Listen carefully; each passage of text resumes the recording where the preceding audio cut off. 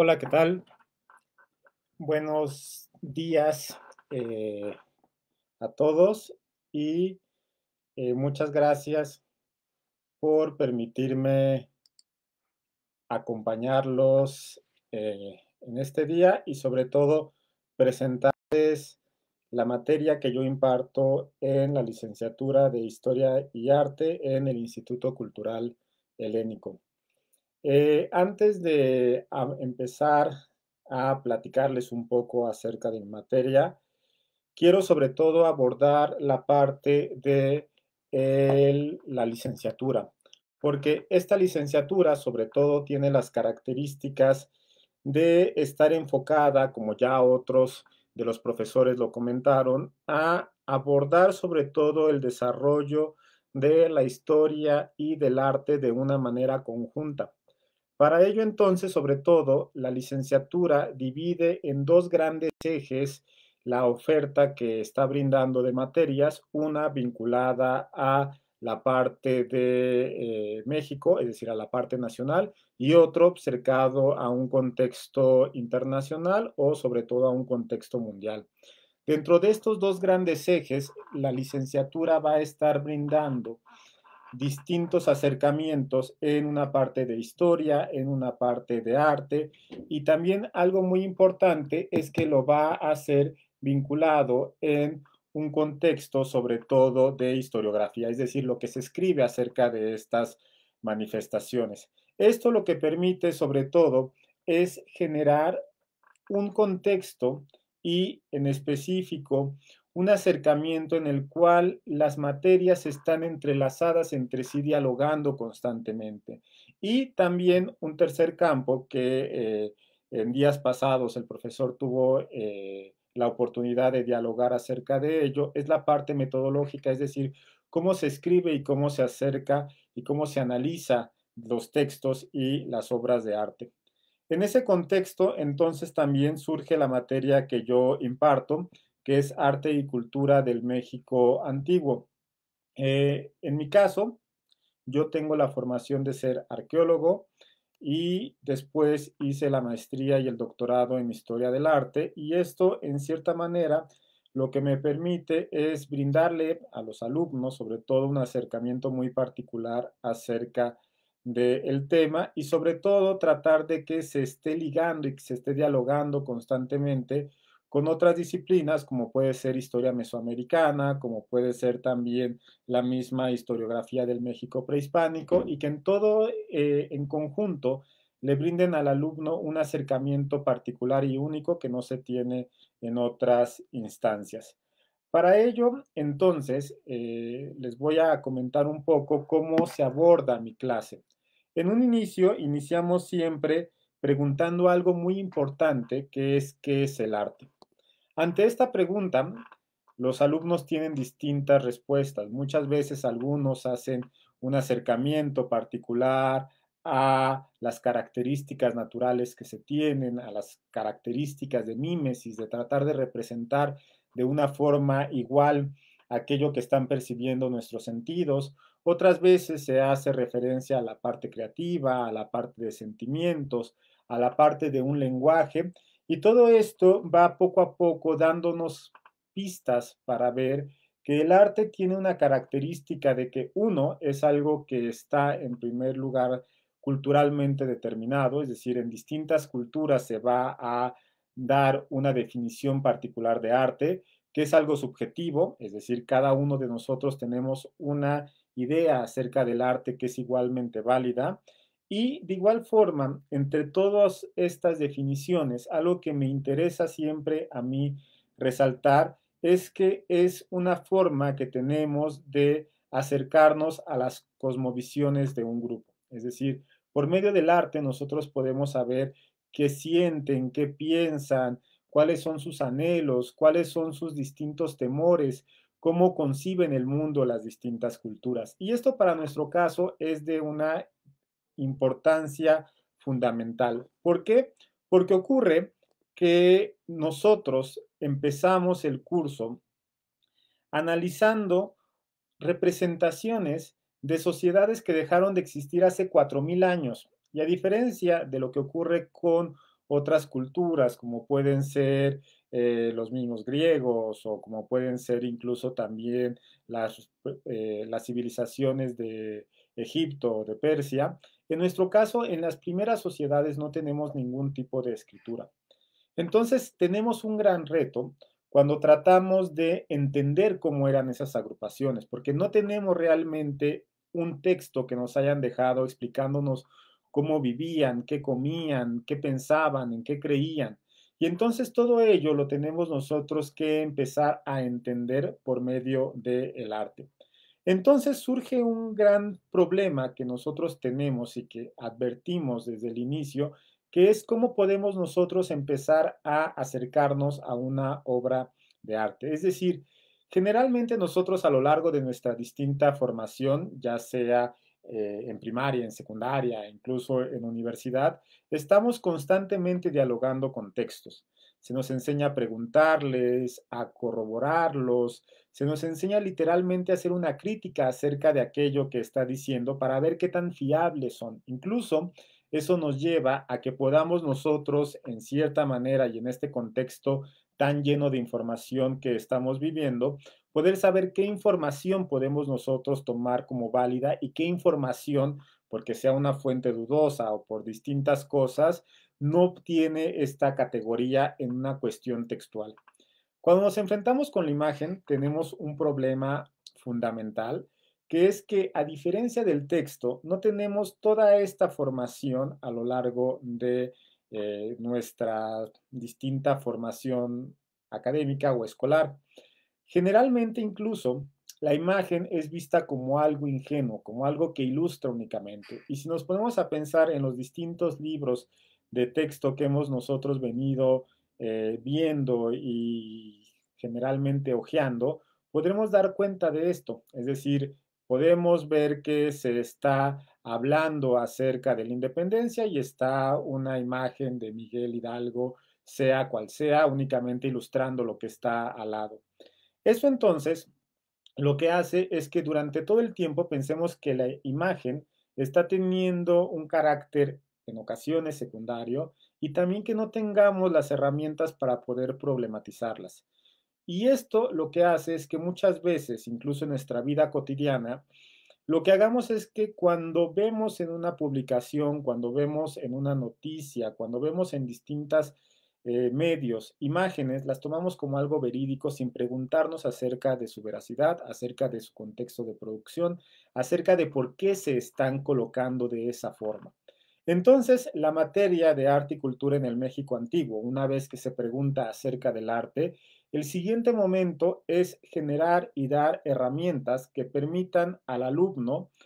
eh, problematizar la imagen. En primer lugar, analizarla, ver cómo puede describir las figuras, cómo puede describir los colores, cómo se están uniendo estas partes para generar una representación única y esto, ¿qué es lo que nos quiere decir? Estas características es algo fundamental y no únicamente funcionan en el caso de mi clase particular, sino que le brindan al alumno una forma de empezarse a acercar al arte y empezarlo a problematizar y empezar a preguntar sobre lo que se está creando. Una vez que entonces ya se tienen las herramientas básicas para dialogar con la imagen, para dialogar con eh, las representaciones visuales, entonces iniciamos un desarrollo monográfico acerca de eh, el México prehispánico, iniciando, como ustedes bien lo saben, desde eh, el momento en el cual el hombre cruza por el estrecho de Bering, así cerca de 30.000 años, las huellas y sobre todo los vestigios que tenemos para poder dar estas fechas, cómo llega a el territorio mexicano, las últimas noticias que se tienen acerca de que entre el 20.000, 30.000 posiblemente también ya se encuentra en el territorio, aunque las primeras sociedades se van a desarrollar muy tardíamente en el 2500 a.C.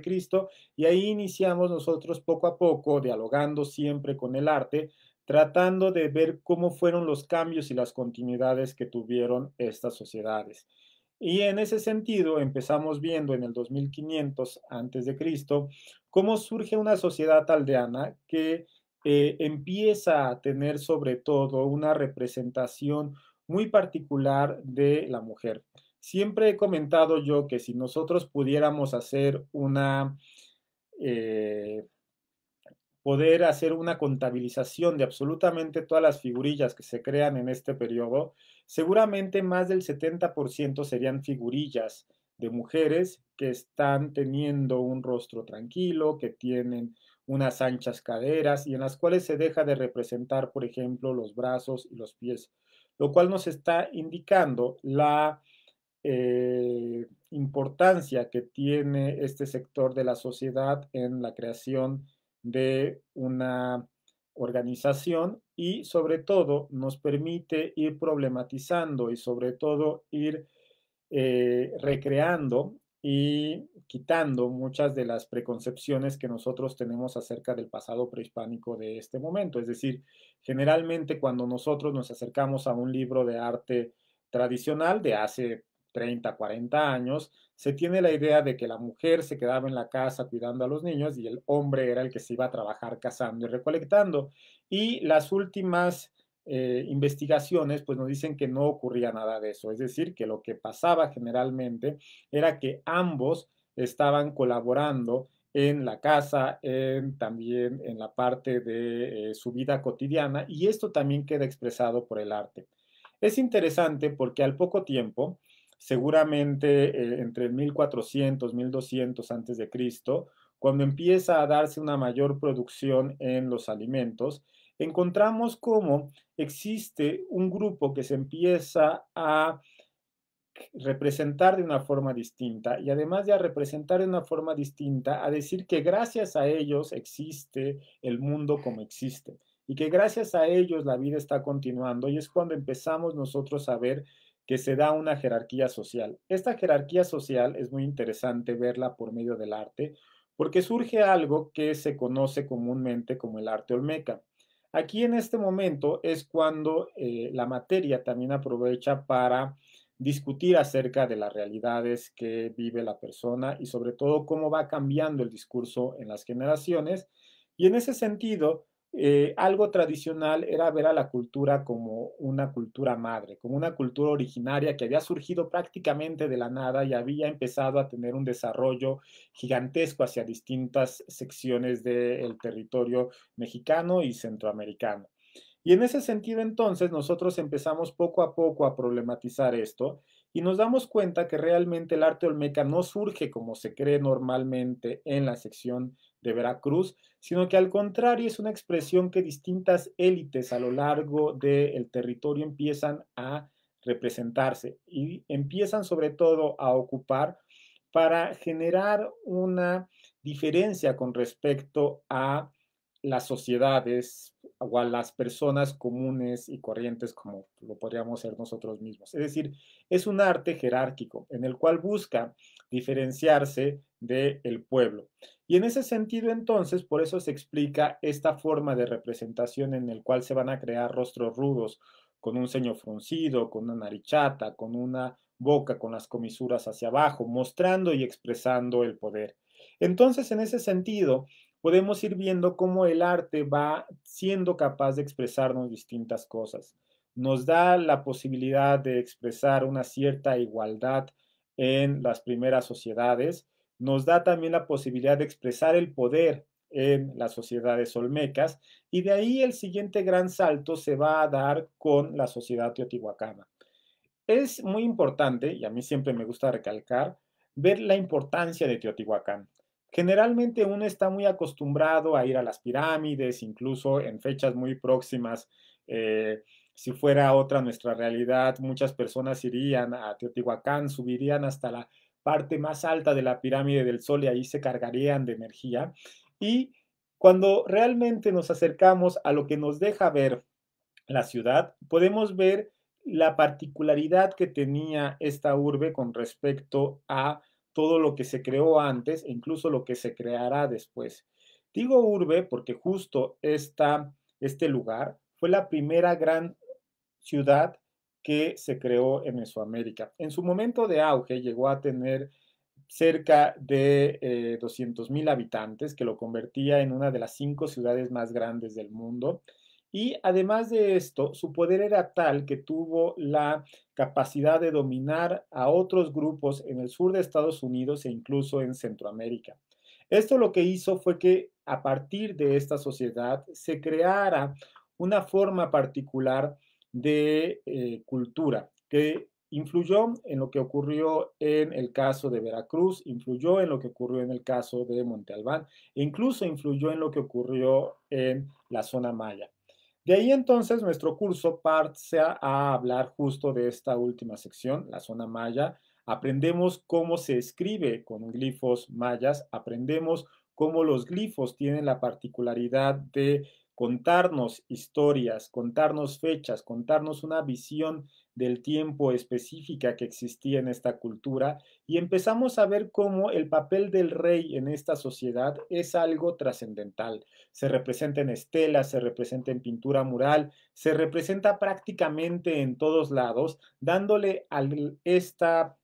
a estas representaciones un carácter y una forma única que no tiene ninguno de eh, las imágenes que se crean en otras sociedades. Al igual que ocurrió con Teotihuacán, que colapsa en el 650, en la zona maya podemos ver que tuvo un auge aproximadamente entre el 300, 400 después de Cristo y se va a dar un gran colapso entre el 900 y el 1000 después de Cristo. ¿Por qué colapsa la sociedad maya? Son uno de los grandes retos que tiene las investigaciones y que tratamos nosotros de abordarlos por medio del arte, responder esta pregunta. Y de ahí entonces nuestra materia empieza a ser un recorrido por distintas zonas, por la parte de los, de los eh,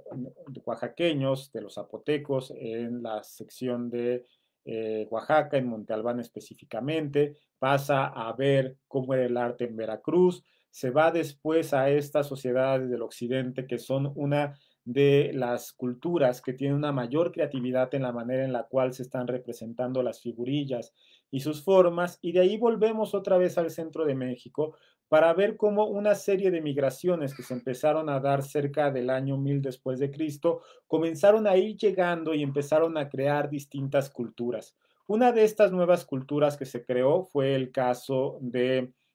eh, Tula, que tuvo una fuerte relación con, Chichen Itza y crearon otra forma de representación donde las águilas, los jaguares, la muerte y el sacrificio está presente y obviamente eh, el curso cierra con la parte de los mexicas y cómo en esta sociedad podemos ya tener otro tipo de representaciones como son los mismos códices. Si bien es posible que los códices hayan estado presentes desde Teotihuacán, no tenemos ninguno de este momento y entonces son los mexicas entre el 1325 y el 1521 que nos da sobre todo una mayor amplitud de fuentes. Y esto entonces lo que implica también es que tenemos que aprender nuevas formas de cómo mirar una escultura, nuevas formas de cómo leer un códice, lo cual también vemos en la clase, los distintos tipos de códices que existían. Y algo muy importante que existe para este momento es también problematizar cómo estas eh, representaciones, como el grupo indígena, no fue de una manera tan clara como estamos nosotros acostumbrados de ver, no desapareció tras la conquista, sino que al contrario, esta cultura continuó prácticamente durante el siglo XVI, obviamente con transformaciones, pero también hubo muchas continuidades que se dieron, y entonces el curso justo cierra tratando de ver esta eh, vitalidad que tuvieron los pueblos indígenas en el siglo XVI y cómo se apropiaron de un discurso cristiano y cómo este discurso cristiano fue también utilizado para expresar sus propias exigencias, sobre todo sus propias demandas que tenían en cuestiones territoriales, en cuestiones de eh, gobierno y en cuestiones en cierta forma de autodeterminación. Esto sobre todo lo que nos permite es empezar a ver que y empezar a romper, yo lo diría, un discurso que estuvo durante mucho tiempo muy afianzado en la academia, en los libros, en los cuales incluso se repetía que una vez que eh, se dio la conquista, los pueblos indígenas se vieron como vencidos y su cultura quedó subyugada. Y algo que yo creo que a partir de eh, la década de 1990 empezó a ser cada vez más puesto en duda, porque se veía como estas distintas embates que habían existido hacia los grupos indígenas para tratar de homogenizarlos y para tratar de convertirlos a una idea de nación que se tenía, eh, prohibiéndoles que mantuvieran sus costumbres, prohibiéndoles que mantuvieran su lengua, pues se dio cuenta que no había sido realmente tan fructífero y que incluso los grupos indígenas compartían y seguían manteniendo una forma tradicional que se remontaba en muchas ocasiones a muchos siglos y a muchos milenios y que obviamente, aunque se habían transformado, se seguían manteniendo con características particulares y que estos mismos grupos ayudaban sobre todo a